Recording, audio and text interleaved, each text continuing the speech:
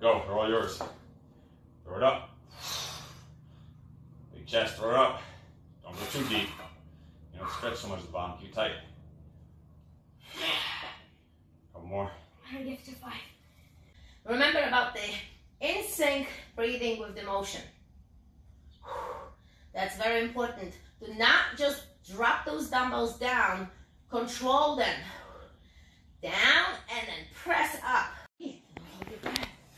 god, I see the bicep is pumping. Even I see it, it's growing. Breathe out when you bring it up. When you're breathing, breathe out. Inhale, exhale.